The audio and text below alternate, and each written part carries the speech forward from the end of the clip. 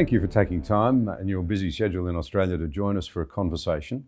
Can you tell us a little bit about the sort of academic you, work you do and who you see as your audience and what you're seeking to achieve? Yeah, well, for the last um, few years, but uh, particularly intensely for the last couple of years, I've been looking at the development of what is probably best called social justice scholarship. So that, that includes all kinds of theories which stem from postmodernism, um, post-colonial theory, queer theory, intersectional feminism. And I've been looking at some problems that I see with that, with a, a sort of epistemology, knowledge claims which aren't supported by evidence, and ethics which aren't consistent. So my colleagues and I have, have just finished a, a, sort of year and a half project of trying to get inside the system and show the problems with it. I think my audience is is the is the average person really at the moment because we're trying to get through to academics that there is a problem going on we're having some difficulty with that. And I don't think the average person really they, they see some symptoms of the problem. They might call it political correctness or identity politics, but I don't think they always understand where it's coming from and how it works. So I'm, I'm trying to break all that down. Thanks. Yeah, I think uh, it's a good point you make. You know, we should never underestimate the intelligence and thoughtfulness of people in the community. I learnt that in a long time in public life. But they must look overhead at the moment and think, good grief, the world's going mad. We've got the learner right up there saying we've got to go back to a golden era that probably didn't really ever exist. We've got the learner left saying we want to take you to a future that will never be achievable, some sort of nirvana. Uh, we've got, if you like, a rise in religious extremists with people saying, I can save myself by blowing others up.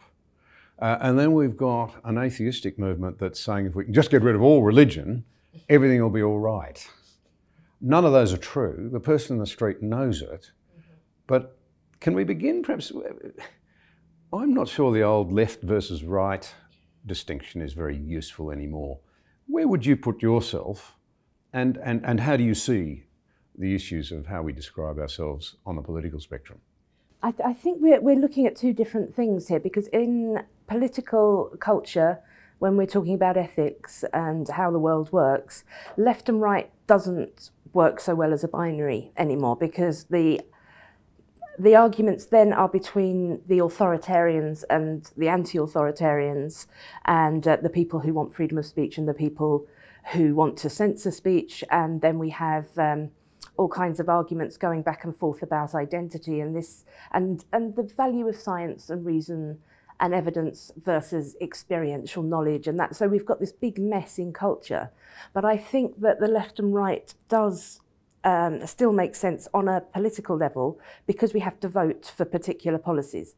So when it comes to policies, we're back to a very sort of practical thing, how it affects uh, how it affects people living their lives. And while the culture certainly feeds into that, we still need to be having conversations between uh, leftist ec economics and, and rightist economics and, and social policies. So I consider myself a left liberal, and by that I mean I am economically left. I would like to tax people quite a lot and then pay for for um, good welfare services. I'd want nationalised healthcare and this kind of strong safety net. But I am a liberal, which not all lefties are.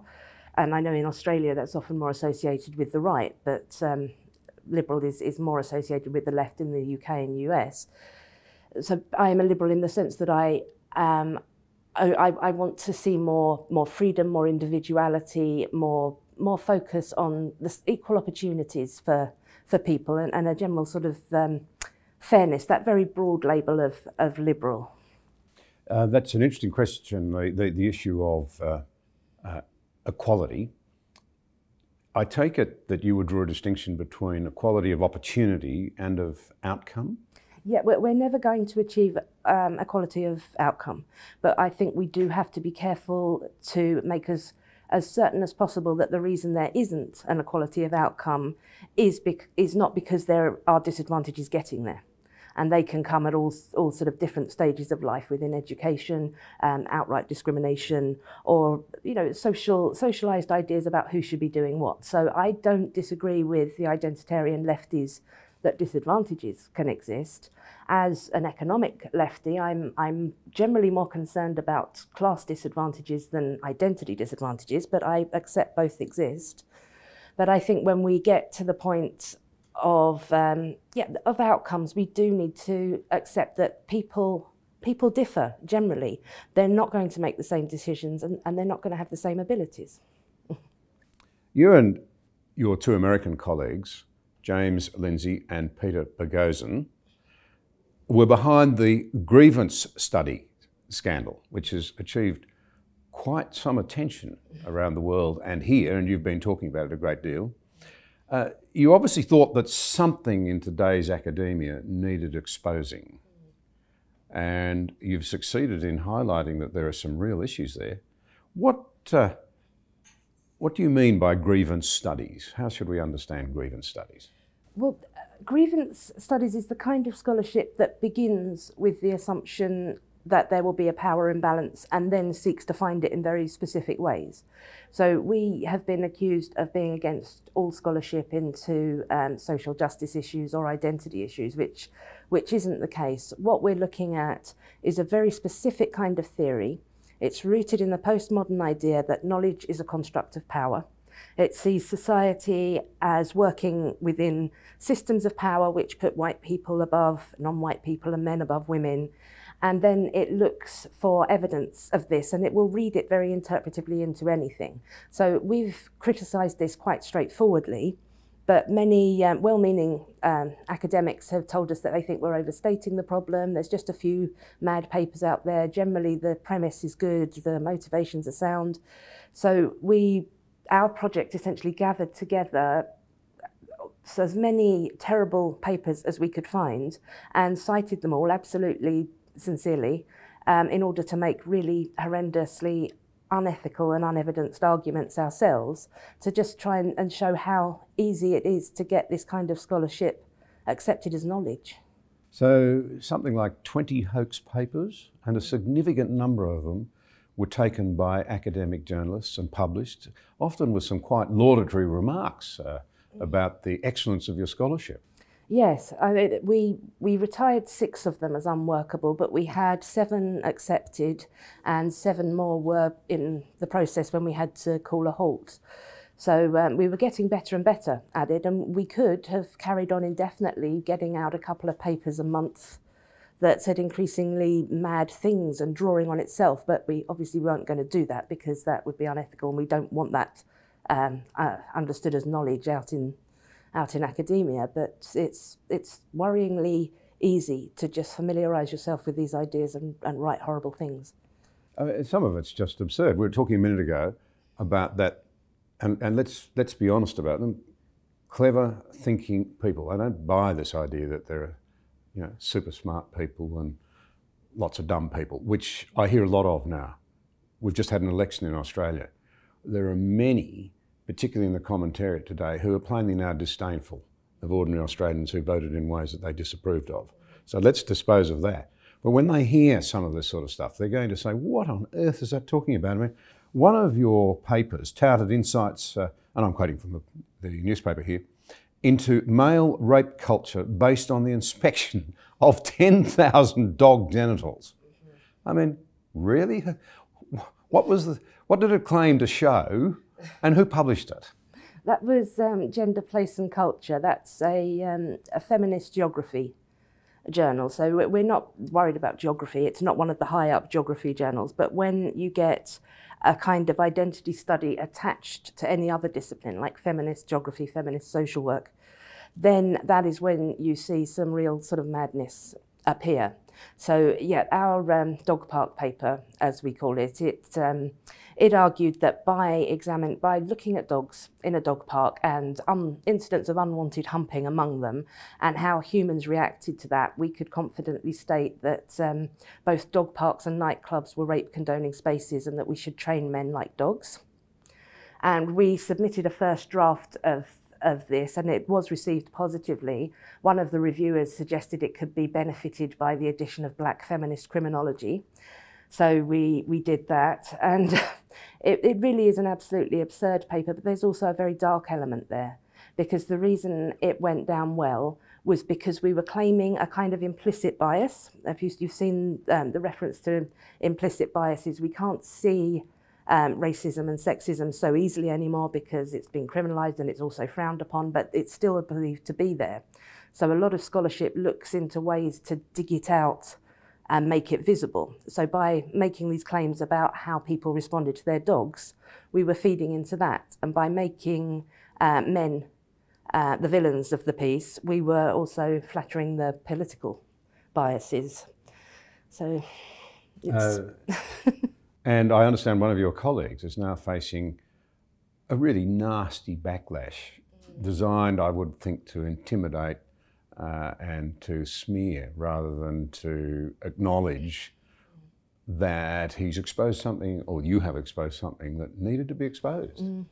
Yeah, we are most worried about Peter. There's um, constant um, uh, worries for him at, Portland State University. There's only so much we can talk about it because he's um, he's not um, allowed to tell people a lot of what's going on with the internal sort of um, reviews and things. But he has, yeah, he's been found guilty of not getting um, ethical clearance uh, to to test journals, which um, is ridiculous. But that's that's, that doesn't seem like it's going to be a huge thing. We, he's been um, cleared of data fabrication because we did um, reveal it ourselves and uh, had the papers withdrawn. Data fabrication. What was what was behind him being accused of falsifying data? Well, um, I hope you won't think less of us, but we didn't actually examine 10,000 dog genitals. I'm terribly disappointed. so, I mean, what can you say? really? This is what we've tried. We've tried to point out to, yeah. to people that so, even if we so had. we're not irresponsible and stupid for publishing this rubbish. You've done the wrong thing yes. because you didn't examine 10,000 dog genitals. Yeah, and this is. Genital. This is one of the criticisms that a few of our papers had data and it, it wasn't real. But the we did need to test whether highly implausible data um, would raise any concerns with them. I mean, how is it possible to have 10,000 different dogs in one town and to examine their genitals while asking the owners about their sexuality? It, it's, it's, it really should have been questioned. And even if we had been able to show that we had done that, it wouldn't justify the claim that that dog parks and nightclubs are rape condoning spaces. So this focus on the data and whether or not it was real is is really a, a, red herring to get away from the fact that we shouldn't have drawn the conclusions from it than we that we did anyway. Well, there are a couple of other doozies that you've referred to here in Australia. One was um, another recycled material uh, from uh, Hitler's Mein Kampf uh, with feminist rebadging. Mm. And a third declared that bodybuilding was fat exclusion, really. Yes. Fat studies is um, one of the smaller and newer um, fields that is, is really quite worrying because it, um, it, it kind of it draws on, on queer theory and it goes back to Foucault and his idea that science um, decides what is true and what is healthy and that it's done to oppress people. So Fat Studies explicitly rejects the claim that um, obesity is unhealthy and it puts pressure on research organisations and uh, medical authorities not to um, advise people to lose weight. And so we wrote this paper with the help of, um, well, with the permission of a, a former bodybuilder and academic, um, Richard Baldwin, who kindly donated us his name. And um, we argued that the only reason people admire bodybuilders uh, who have built their body with muscle and not um, obese people who have built their body with eating huge amounts of food is because there's uh, prejudice against fat people. And so bodybuilding could benefit from including the non competitive um, display of fat bodies alongside muscular ones. And there was, that paper just has an awful lot of uh, silliness in it. And I, I, take that one quite personally because I've been trying to engage with fat studies as I, I don't precisely have thin privilege myself. And it's very difficult to talk about the health problems. And for people who are trying um, to lose weight or trying to get healthy, this kind of um, activism going on in the background, preventing them getting the right advice and the right medical treatment is, is I think, is going to be much more of a problem than is currently recognised. it brings to mind, I think uh, George Orwell would have not, he wouldn't have described himself as a, a conservative. He wrote 1984, of course, amongst other things. And he, uh, he had a quip uh, once to the effect that uh, some ideas are so stupid that only an academic would believe them. Mm. A man in the street would see through them in an instant. This raises very real questions about the objectivity and professionalism, if you like, uh, of um, big slabs of academia. Can we just dwell for a moment? Not all of the articles were published, and there were plainly many academic journals uh, and, their, and their editors who, who, who did not publish. How do we know who we can trust and who we can't? Who, who's reliable? Who does a high quality job? How does the man in the street know when he picks a journal up that this is a journal that will have done a proper due diligence, for want of a better word, and, and won't be publishing rubbish. This is the problem. The average non-academic person is not qualified to judge what is coming out of um, of identity studies in the way, same way I couldn't evaluate a physics paper. So we do need people with um, expertise in those fields and we need them to be doing their job properly. So a lot of our work was aimed at uh, people in the humanities who are reasonable, who value evidence, who value ethical consistency, to try to get them not to, out of some kind of loyalty to colleagues or a, a feeling that any kind of work which looks at social justice issues must be good, they turn a blind eye to the really terrible scholarship and we want them to stop doing that. We want them to criticise it and we want them to be able to criticise it without being accused of being uh, white supremacists, misogynists, or, or whatever else. So we that that whole field, that whole process of social justice scholarship and how it is evaluated really needs to be overturned. It needs to be made rigorous so that people can trust it again. Because the, the, the worst thing that could happen from this is that people will no longer trust anything that's coming out about social injustice. They are going to be inclined to dismiss um, genuine cases of racism, sexism, homophobia, unless we can make the information that's coming out more reliable. Uh, one thing that, um, that worries me enormously as somebody who was involved in public life for a long time is the breakdown of trust in our institutions. Mm. And the uh, academic work in Australia that you can rely on in this field, I know, is the Australian National University's work on trust uh, in our federal parliament uh, distrust is at a very, very high level. Trust is at a very, very low level by historical standards. Quite frightening stuff.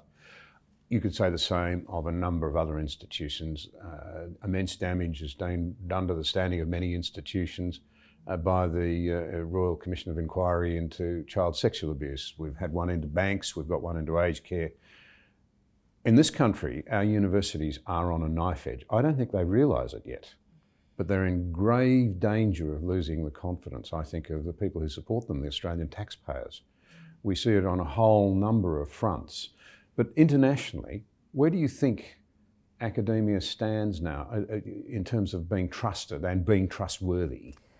This is something that um, that worries us particularly. This is why we put out a, a piece of principled defence of the university before we revealed anything, because our greatest fear is that the undermining of, of confidence in certain kinds of identity studies is going to feed into populist and anti-intellectual um, demands to, to dissolve universities. They are going there. There yes. is so much danger that that people will generally lose confidence not only in some bizarre theoretical scholarship, but in scholarship itself. So that, that is something that I think we need to address. People have criticised us saying that our project feeds in to the undermining of confidence in the universities. But I don't think that that argument works because if there is genuinely a problem, we cannot deal with it by pretending it doesn't exist and hoping the critics don't notice either. They've noticed. We need to be seen to try and fix it. Helen, if, if nothing else comes out of con this conversation, it's that you know, when there's a problem, it needs to be put out into the open, into the sunlight, so that people know there's a problem. It can't be escaped. You can't get around it anymore.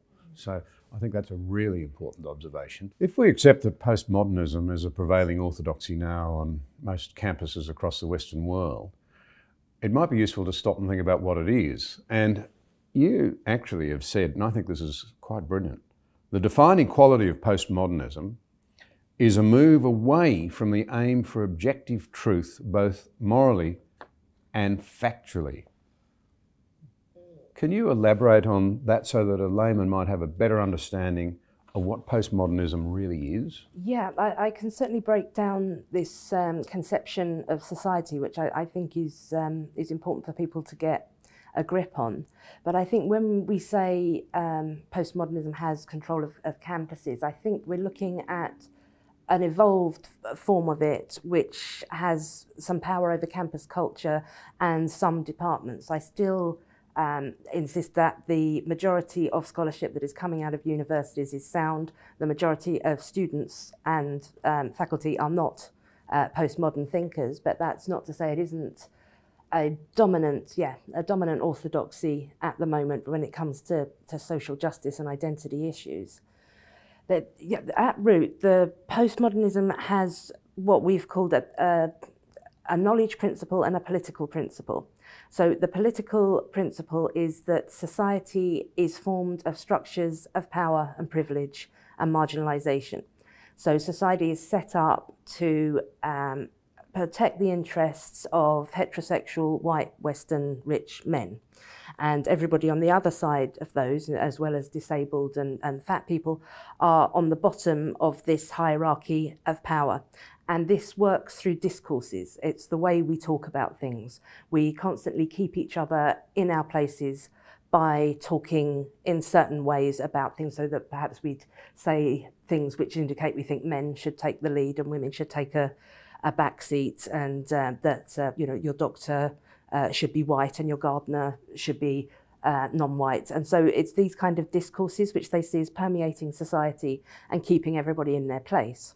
So objective knowledge, um, in this sense, it comes from this conception of society as constructing knowledge through these power discourses. So Foucault called it power knowledge. So we think what seems so obvious and, um, and true to us is actually just a construct of these systems of power. It'd be useful for us, I think, if we had some understanding of how postmodernism has evolved. Uh, if I could preface my remarks, giving away my own biases a little, G.K. Chesterton once observed that when men stop believing in God, they stop believing in anything. Mm-hmm. It does seem to me that we were promised that this new secular age would lead to a greater objectivity, more rational thinking, more reason, less subjective uh, thinking, and yet we seem to be less committed to objectivity than ever.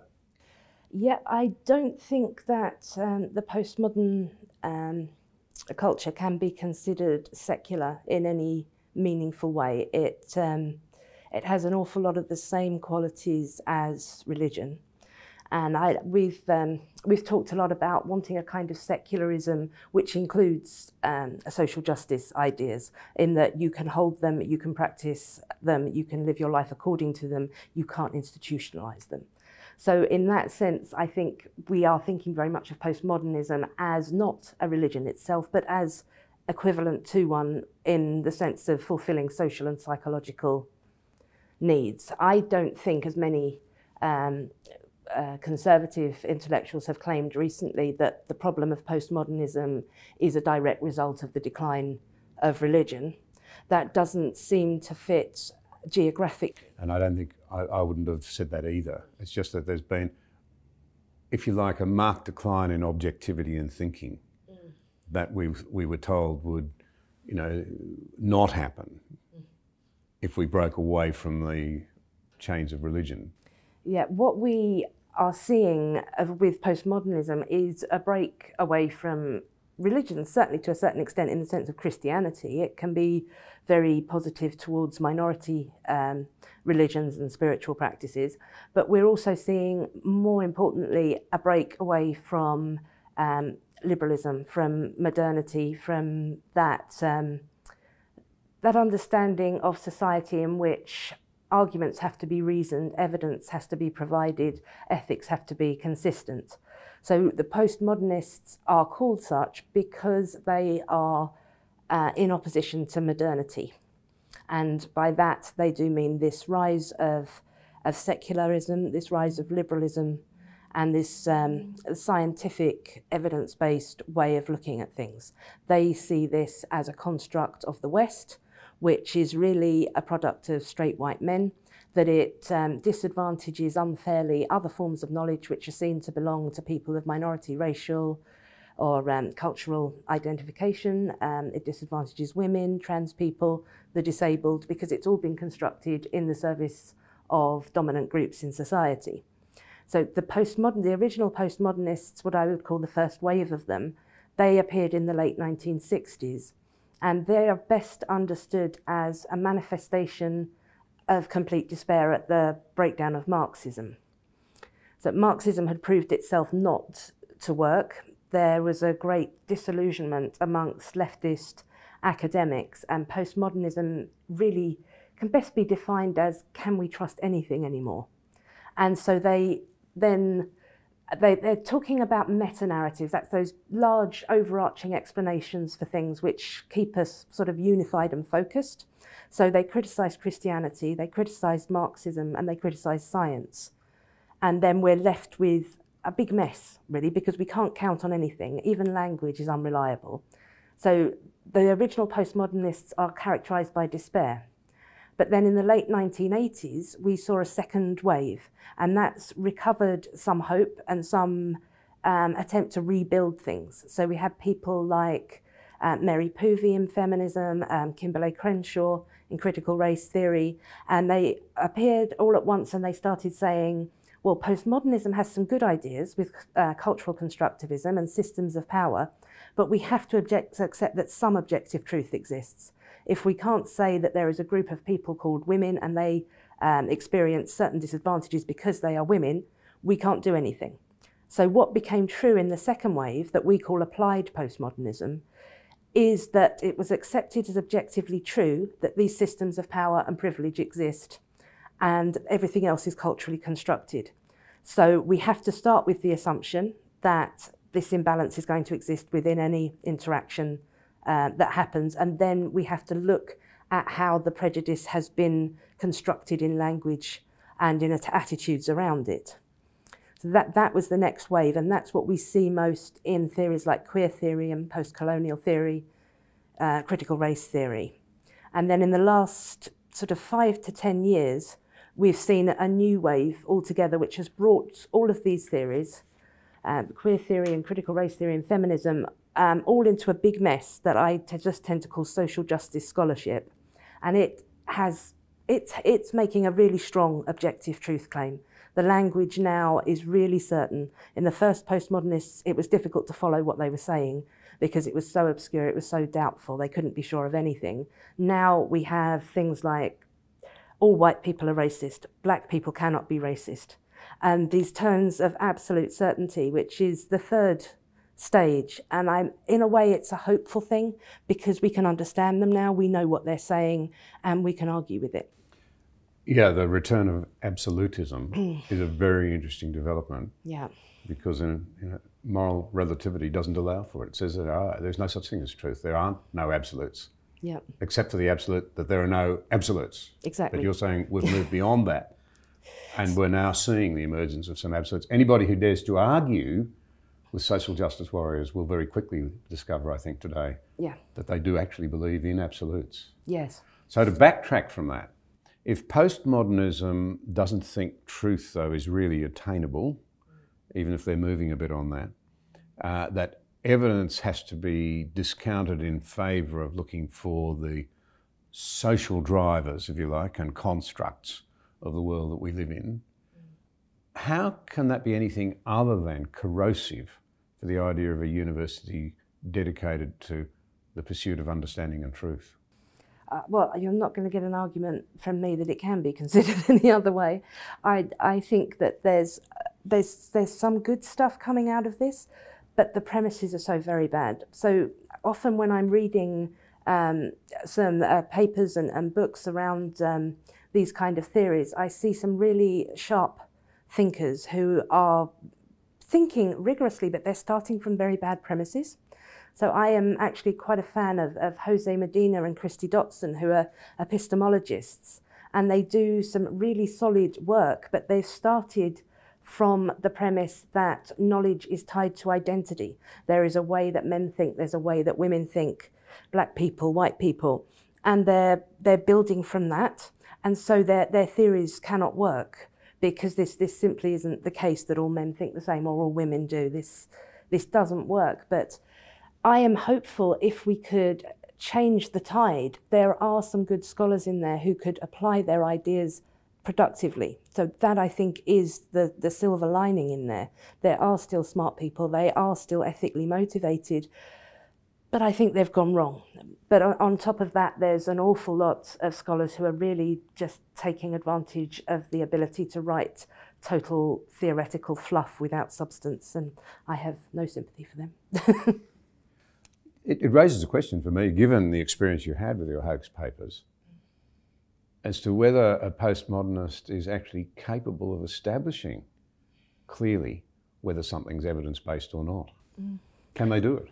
I, well, they the, what they would do with this is they they would they can understand um, what they call the correspondence model of reality, whether what we're saying actually corresponds with reality, obviously, but they they're not sympathetic to this. They would call this the uh, Western philosophical tradition and say that it is dominated unfairly.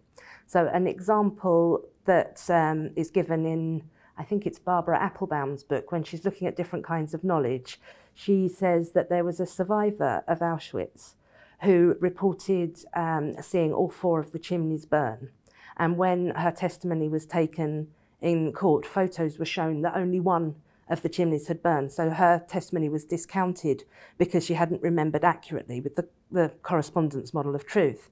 And what the theorist pointed out was that that woman's memory may not have been factually accurate, but what she was recounting was an experience. So maybe her experience of what had happened had uh, produced a memory which wasn't factually accurate but did speak to experience, and we are interested in experience at least as much as we are interested in facts. And I think to, to some degree that is true. If we were to talk to this, this poor woman, we would want to know how she coped, how she felt, is she recovering, and we wouldn't be interested in chimneys particularly. But when we're talking about scholarship, we cannot have truth claims which have social power that are used for social engineering, which are based on the experiences of certain groups of people who believe in these theories. Because it isn't the case, as they would imply, that we listen to, um, say, all, all black people and then we um, obtain knowledge from their experiences and go ahead with it because you're going to have middle class black people, upper class black people, working class black people, conservatives, liberals, can, that there's just isn't a black knowledge. And so when this kind of theorist says that they are, are listening to black people and they're using um, this kind of knowledge, they are really only talking about the ones who already agree with them. If we could move to the practicalities then, what does this confusion, because I don't think you can put it any other way, in academia mean for our societies? I, I, the, the thing with universities is that knowledge isn't meant to remain there. The whole purpose of them is that they produce it and they disseminate it throughout the population. And that, that is what's happening. People who have been to university, who have studied these identity theories, go on to become teachers of our children, heads of our industries. And these ideas get perpetuated, they get simplified and um, and they, they, they trickle down. And so we get activists who have a very sort of simplistic um, idea of these power structures that they're arguing for, but may never have read Foucault, for, for example. So I think we need to tackle the ideas where they are at the root in the universities. We need to make them, we need to show the problem with them. We need to make them fall out of favour. We need to make it a bit embarrassing to not even try to have evidence or make sense. And that's, that's how we used to feel about these kind of arguments. And, and I think we need to reinstitute that. And when it's coming to young people who are starting university now, I frequently get letters um, from them saying that they want to set up some of their own groups. They want to push back at some of this um, moral orthodoxy. And I'm, I'm hoping to start um, to start visiting some more student groups, giving them some support and getting them going because I, I don't think Generation Z is going to put up with this. I think we're going to see a pushback from the younger people. This idea, this postmodern idea, is really quite, quite old now. It still tries to pretend that it is new and radical, but its original theorists have mostly died. And it, I think it's seen its day. So if we can support the youngest people, those starting university now, uh, to challenge it. That's what my book is hopefully going to do. It's going to break it down for people and get them to push back. I, th- I think that's what we need to do. I, I, anecdotally, I know, here I am saying you've got to look at the objectivity and evidence, but I met an extremely bright young man only a couple of weeks ago at one of our best universities. Uh, and he just observed to me, he's studying in the humanities, although he's also doing economics. He said, that, he said to me, I honestly believe that 80% of the students I interact with believe that they're being fed a lot of ideology, they see through it, they don't believe it, but they will play to it to get through because they know they have to. That's pretty chilling. I, am not surprised by this. I mean, of course, I, I can't know numbers, but I, I would be very surprised if more than a minority of students were genuinely radical cultural constructivists with this ideological understanding of power and language. I don't think they are, but it is a worry that they're they're having to speak through this system. And it, it's, you know, in that sense, Foucault was, um, was not far from being right. We, power, language does have power. We are at risk of accepting this conception of the world if we don't keep pushing back at it. Now, one of the points that you've made while you've been here is that, uh, of course, the people who go through our university systems then become uh, not only leaders of industry, but also our teachers. So uh, this filters through very quickly into what happens in the formation of the minds of our young people, our students in classrooms. I think that's of deep concern to Australian parents. I, I think it is. I, I, don't want people to despair of this. I think um, some of us, most of us now, are a bit spoilt through ha from having lived through many decades without um, extreme ideologies. You know, but it was only it, it, was only sort of 70 years ago that there we saw the rise of, um, of fascist and communist ideologies which have been which have been overcome. They were in universities. People were arguing this and we did overcome it. I think we can overcome postmodernism. I don't want um, to encourage people to catastrophize or think it's the end of the world or we need to end universities or, or ban any kind of speech. That's not what we need to do. We need to win this battle of ideas, and I think there is enough of us to do it. The, the story that you just told about the young man, what we need to try and do is get that 80% who don't agree with this to see the importance of together saying that they don't and having the good arguments against it and articulating them well and pushing back at it.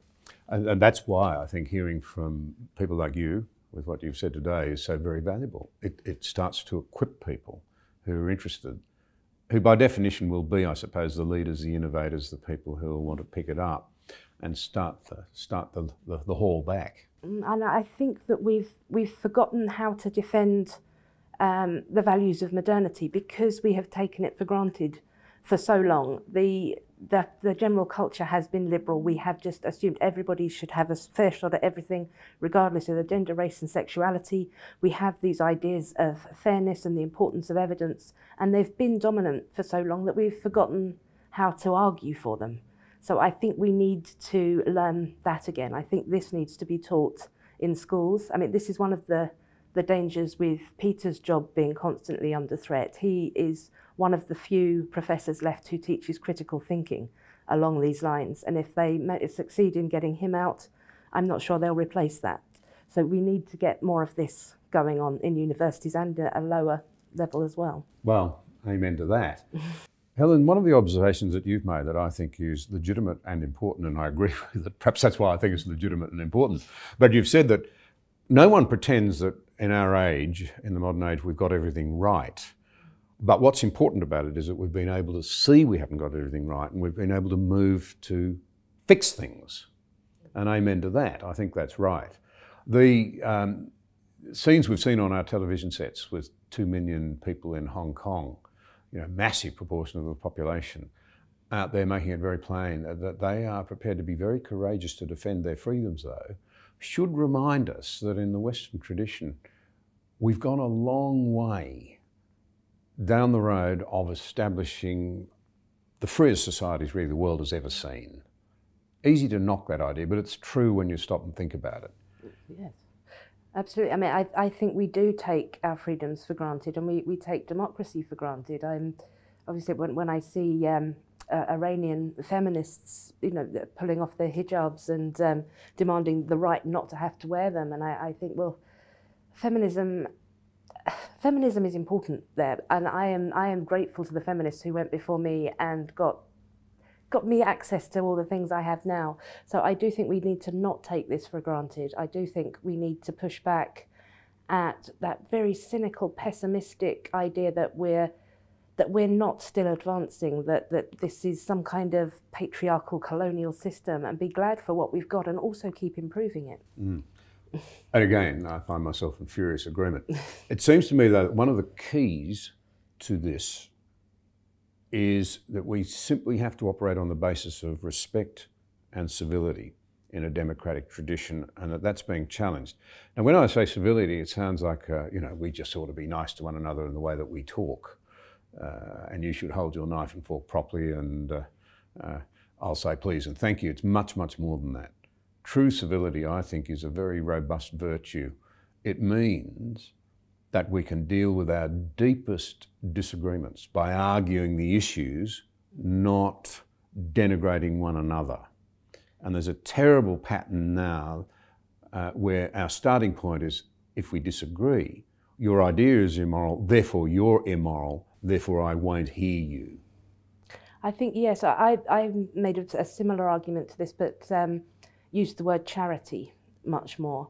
I, I think that we need to talk to people that we disagree with strongly and we need to say so. We don't have to hedge around those disagreements, we can express them very strongly. But start from the principle of charity. Uh, believe that the person you are speaking to is both sincere and well intentioned, and then go from there. President Eisenhower commented once that you should never judge a person's motives uh, their wisdom, yes, but not their motives. I think that given the range of views in our society now and the enormous challenges, frankly, confronting the West, economic, environmental, strategic, they're very serious.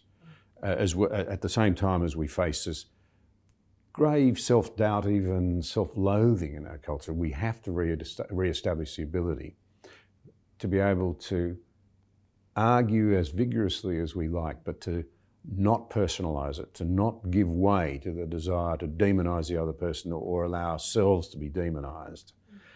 And if I have a worry about the modern debate as I hear it, including out of our universities, it is that we go to demonize first uh, and then talk later, and by which time it's often too late.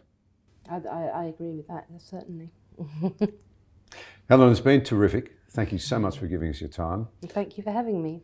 you lovely. can't get good public policy out of a bad debate. That's our strap line on this show. Righto, yep, I'm with that. Thank you.